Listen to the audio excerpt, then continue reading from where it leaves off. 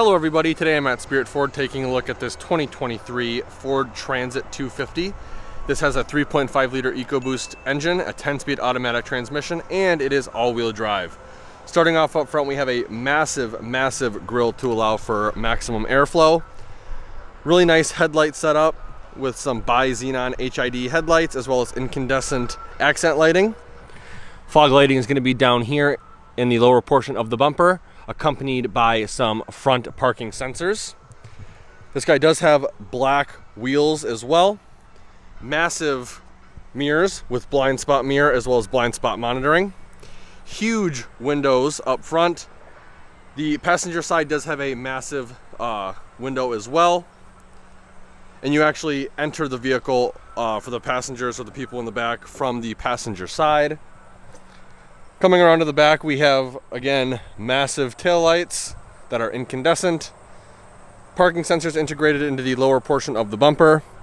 Looks like you have your hitch receiver and your 4-pin and 7-pin connectors. Ford badging on the passenger side. All-wheel drive EcoBoost badge and Transit 250 badge on the driver's side. Absolutely tons of space in this guy your gas uh, is uh, your gas cap is going to be right in here and you have to actually open the door to get to it. Really really cool high roof cargo van. Tons of space on the inside. Let's take a closer look at the inside of the vehicle. So something that i love about these vans is the sheer amount of space that you have. Um, tons and tons of visibility out the windshield. Tons of visibility about out the uh, windows as well Starting off on the left side, you have the window controls for the vehicle. We also have your mirror controls as well as the rotary dial selector for the exterior lighting of the vehicle. Down here we have your uh, hold button, I believe. And then we have your electronic parking brake. Nice little storage cubby right here. Water bottle in there. Cup holder that can fit a, a massive, massive cup or mug. Tons of storage up here you have a USB and USB type C, or I mean just a regular USB type C and a 12 volt outlet right here for the driver. Tons of storage, tons of storage here, as well as up here, and even on the passenger side. Coming to the steering wheel, we have a leather wrapped steering wheel with very mild bolsters at 10 and 2. All of your cruise control buttons and your uh, gap adjustment for your uh, adaptive cruise control are going to be right here.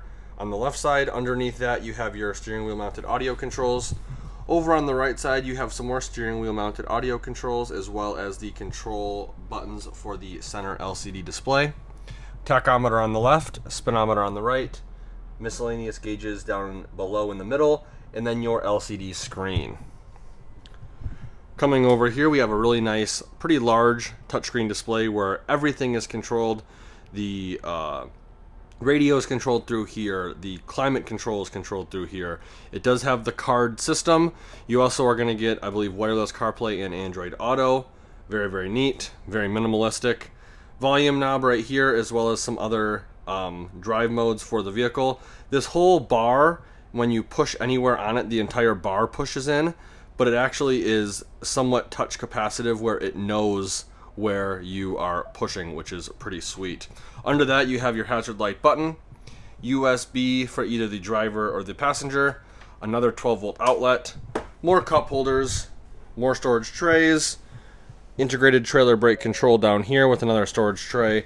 There's just storage everywhere in this vehicle. Taking a look at the passenger seat, cloth seats with nice armrests. This guy does have a nice glove box as well. Little storage cubby there. Big cup holder over there. Up top right here we have the cargo lamp button for the interior. All the interior lights are LED, which is really nice. And then we have your dome map light master controls. Regular non-dimming rear view mirror. I am going to move this seat back just to show you the sheer amount of space above the driver and passenger seats. Try and do this all one take for you guys. You have nice little storage tray above the passenger and driver up top, as well as some uh, rubber lined storage trays right here. I am standing up fully in this vehicle. Tons and tons of headroom. It is very bright with the LED cargo lights. Tons and tons of space. And you do have a nice amount of natural light through this massive single pane window. Getting out through the door is very easy. You just pull on this and it goes all the way back for maximum cargo loading ability. Right here, we have the rear door. You come onto the passenger side, push this latch, and you can get out. Now, if you're opening this door from the back, you're gonna come up to it, pull on this, and it's gonna stop right here, almost flush with the body. If you need maximum cargo loading ability, you're gonna unlock this. It's gonna come all the way back and it's gonna lock on this magnet right here. So that way now, if you're gonna use this and you're gonna have a forklift put stuff in here, you can open these all the way and a forklift can get up right to the bumper. Tons and tons of space in here. Your backup camera is gonna be all the way up top right there. This thing is really, really cool. I would open this door fully, but there is another transit van right next to it. Be sure to look out for the Transit 350 HD video on the channel later, as well as a comparison between these two transit vans. To close it, you just simply reverse the process. The driver's side door needs to be closed first. Because this is just a magnet, you can simply pull it off. And then once it goes back, it will automatically lock back into place and you're good to go. Coming back around to this side, like I said, this door is absolutely massive. Getting up and in is real easy. I'm almost six feet tall on a good day, and I still have about maybe 10 inches to a foot of room before my head hits the top of this guy. Tons and tons of space in here.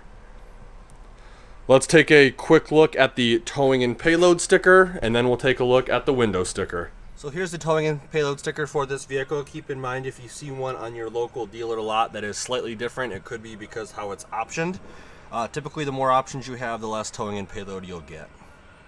Let's take a quick look now at that window sticker. Here's a window sticker for this vehicle. Again, it is a uh, 2023 Transit 250 high roof cargo all-wheel drive with a 3.5 EcoBoost and a 10-speed automatic transmission.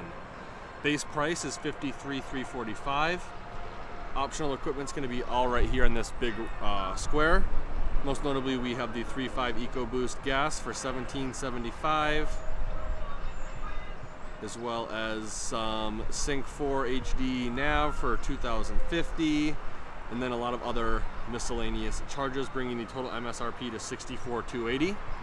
And then because this is considered a heavy duty vehicle, it is not applicable to the EPA requirements or estimates. I'd like to thank Spirit Ford for allowing me to come to their lot and do a video walkthrough of this vehicle. If you're interested in getting a 2023 or 2024 Ford vehicle, including the Transit series, I will be posting all the contact info in the description below. Uh, talk to Cheryle, let her know you saw the video, and she'll be more than happy to go over all the discounts, rebates, and incentives you qualify for. If you enjoyed the video, please consider giving me a like and share. And if you want to keep up to date with more vehicle walkthroughs, definitely consider subscribing to the channel please be sure to check out the uh, Twitter. I will be posting exclusive uh, content on Twitter before it gets to YouTube. So if you want to see that, definitely go over there and uh, follow me on Twitter. And then please check out all the affiliate links in the description below. Like always, thanks for watching and have a great day.